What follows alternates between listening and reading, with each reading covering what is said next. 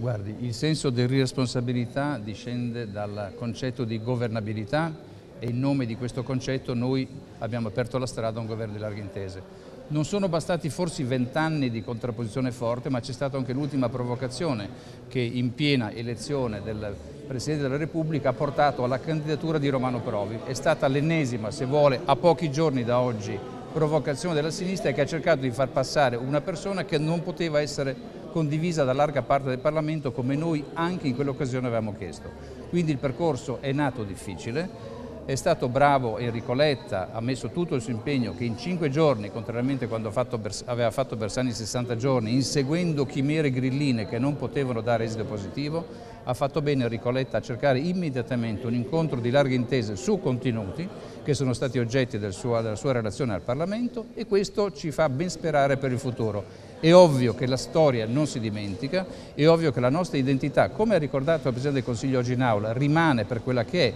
per molti versi molto diversa l'una dall'altra, ma l'impegno di tutti nell'interesse del Paese è fare in modo che questo governo funzioni e faccia le cose che i cittadini italiani si aspettano.